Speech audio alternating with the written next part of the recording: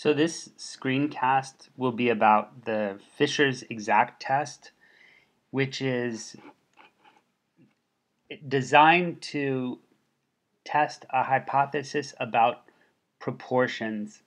So let's say we're interested in determining whether there's an association between two binary variables.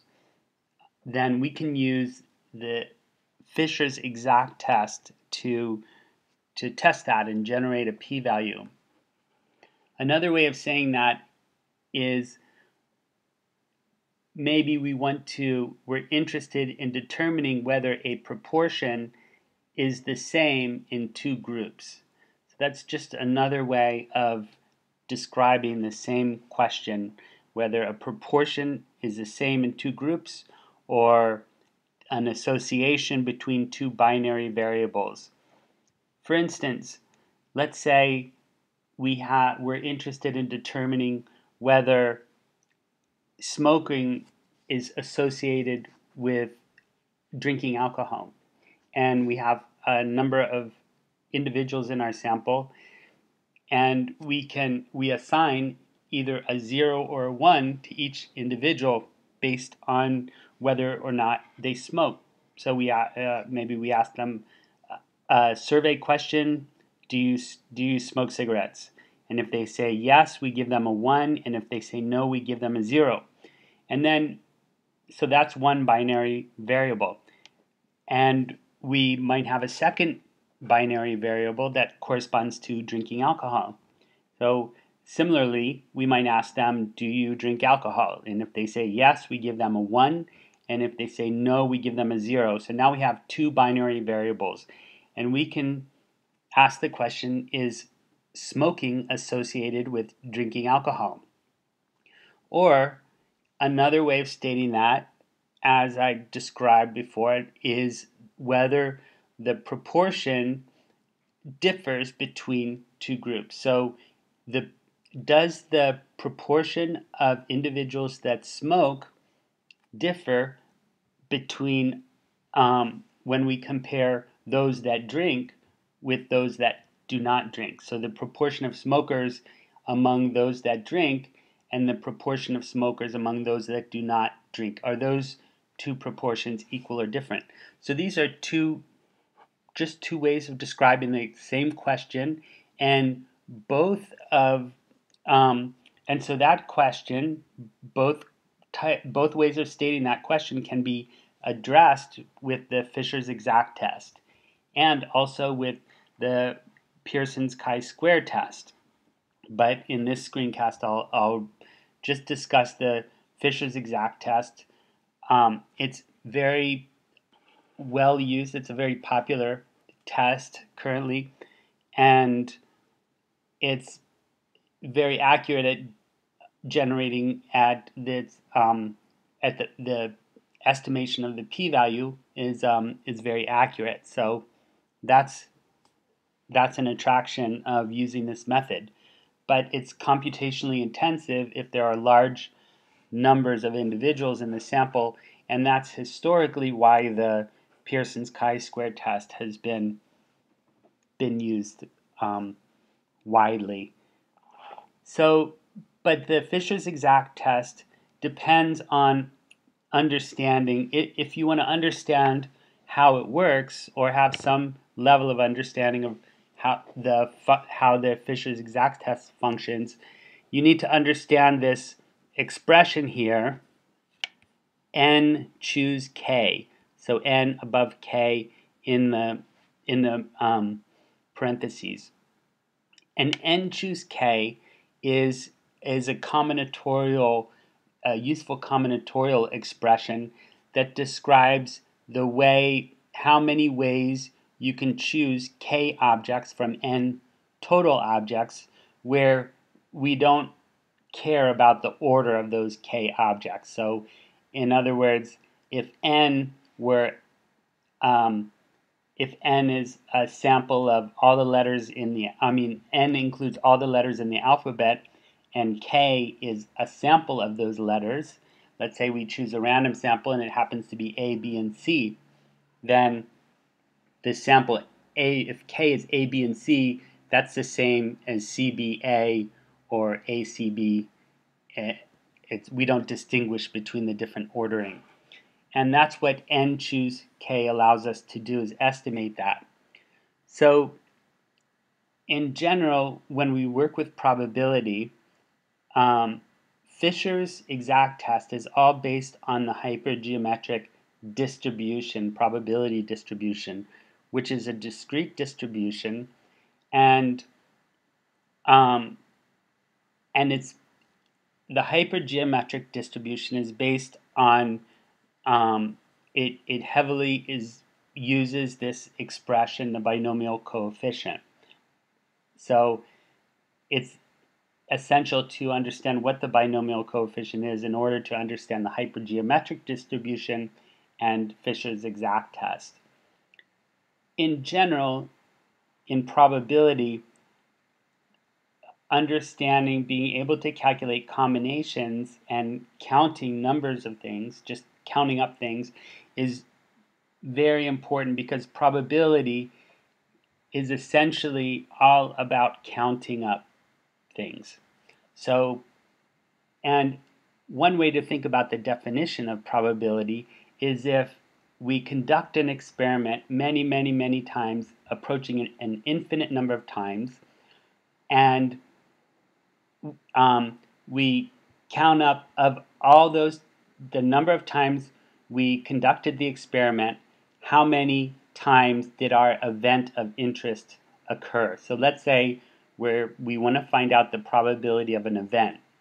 So we count up the number of times our event occurred and we divide it by the total number of times we conducted the experiment.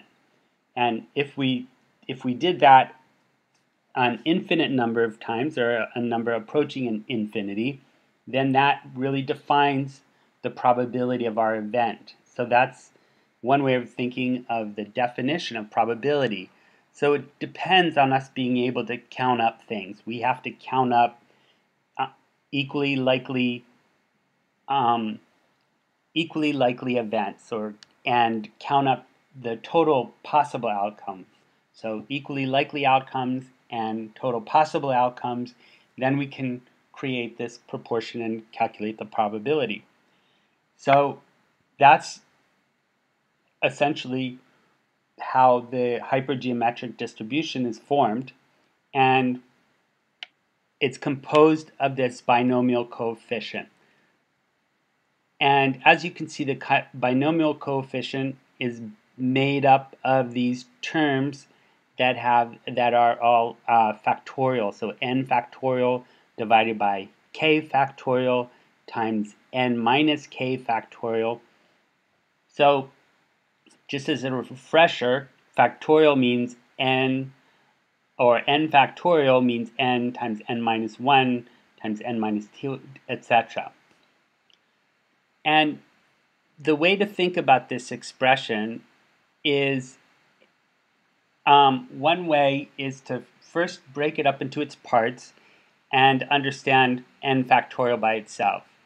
So n factorial is an expression that it, it describes the number of permutations, number of ways that we can permute n items. So if we change the order, how many different orderings of n can we get?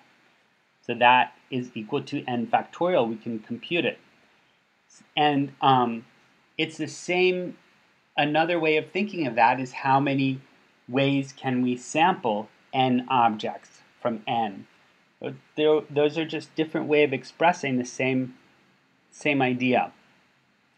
And one way of thinking of that is let's say, let's say we're going to sample either we're going to we're going to take a sample of n items or we're going to create a um, a permutation, a random or, or an ordering. And we want to know how many different orderings or how many ways can we sample. So we, at first we sample the one item, the first item. How many ways can we sample one item from n items? Well, there are n ways, right? There are n possible items that we can choose for that first item. either in our sample or in the first position of our ordering. What about the second item? Well, there are now only n minus 1 items left because we already took one out. So there are n minus 1 ways we can choose the second item.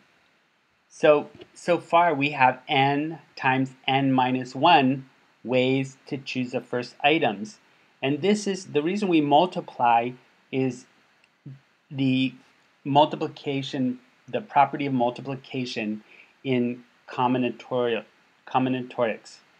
And that idea, the reason why we multiply like that is that the basic idea is that if we have n way, if we have, let's say, a ways that we can do, do something, and we have b ways we can do a second thing, then, and we ask the question, well, how many ways can we do both things?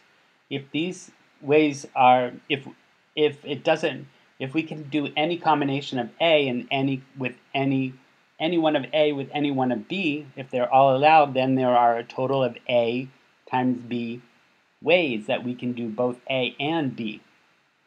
So that this is the property, um, the multiplication property of combinatorics. And so here we just multiply n times n minus 1 times n minus 2, and we get n factorial total ways that we can sample n items from n items where we care about the ordering. So here are the, the total number of ways, but um, we divide by k factorial and n minus times n minus k factorial because those are the various combinations and we don't we don't care about the as I mentioned before we don't care about the um, how k is ordered. K has no meaningful order. So we essentially adjust for that by dividing. So that's the this um, expression n choose k.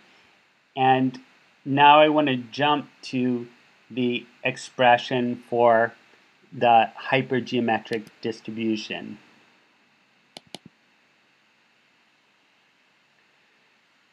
So the hypergeometric distribution can be described as the probability.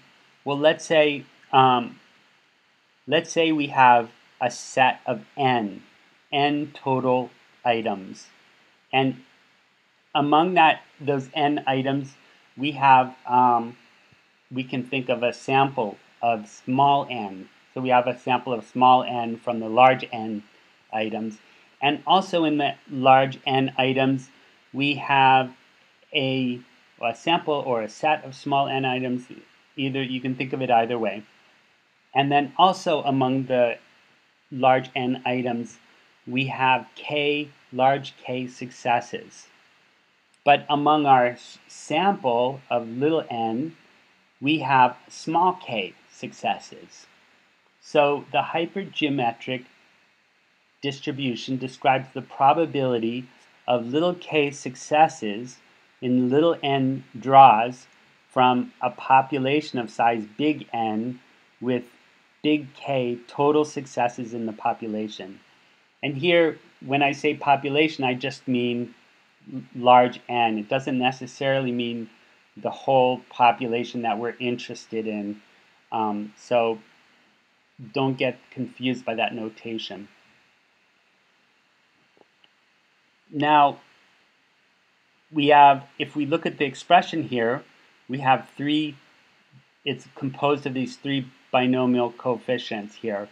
K, choose little k, and the remaining n minus k, choose little n minus little k, divided by the total n, choose little n. And so this gives us the probability that in our small sample of n, we have little k successes. So Fisher took this idea, and this is so this we have to specify to actually compute the probability, we have to know what big N is, we have to know what um, big K is, and we have to know what little n is. So if we go to a, a contingency table, um, a, we think of this in the context of a contingency table, which is what Fisher did. He said, hey, this idea, this idea of a probability in hypergeometric um,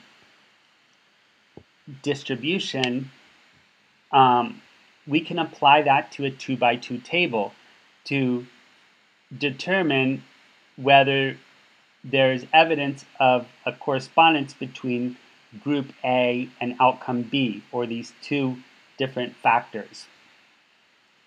So here you can see um, that if we go back,